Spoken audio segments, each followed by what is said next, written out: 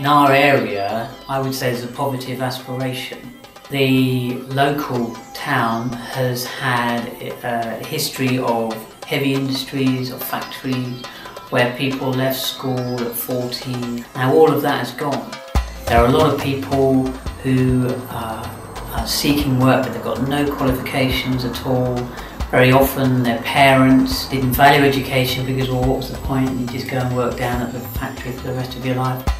Our work was set up by two neighbouring parishes and a Baptist church that wanted to have an impact in the local community in a very practical way. Being from a deprived area, the churches hadn't got a lot of resources they could put into this, so we approached Church Urban Fund and they uh, supported us over uh, three years. When we were starting out, it was really significant. We've been running back-to-back -back basic skills classes so that people can learn to read and write, people can learn to, to use numbers, and for people to achieve those qualifications, uh, for many of them it just turns the light on.